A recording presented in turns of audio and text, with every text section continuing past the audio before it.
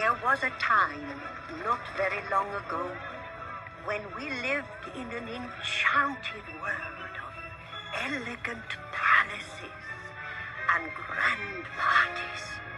The year was 1916, and my son, Nicholas, was the Tsar of Imperial Russia.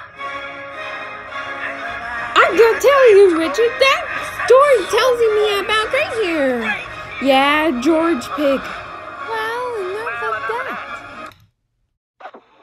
Um, Richard, what are you doing here? I'm fasting for die, but we come in. But she gotta get out of water.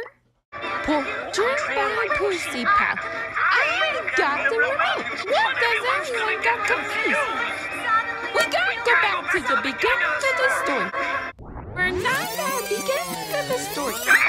Yes, we were the whole time. Yeah, but they don't know that. Then why we don't tell them our story?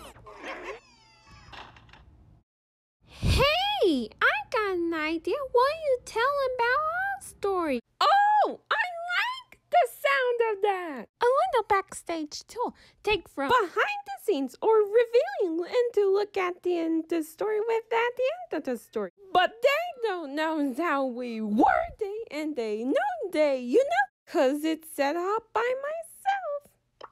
So this is me. Where are we going back to the beginning? Oh no, George Pig, no. We're going, We're we're going going to way back before. to before beginning.